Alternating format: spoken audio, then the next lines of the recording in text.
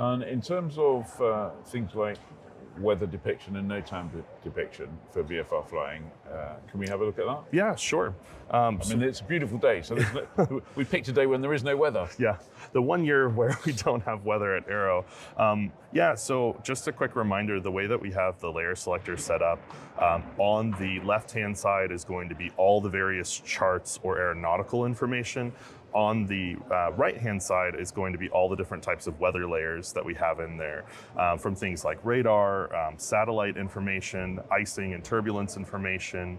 Um, you can even do things like cloud forecasts. Uh, we have layers like um, winds and temps, which will remind you of other various weather apps that you've seen before. Um, turning on things like NOTAMs, where you have that graphical depiction of NOTAMs around um, places like Europe. So we'll color code them depending on how severe they are, from either red to um, gold and then gray. And soon we'll have actually another color um, with yellow. Um, so that way there's a clearer differentiation between what is active and what is upcoming.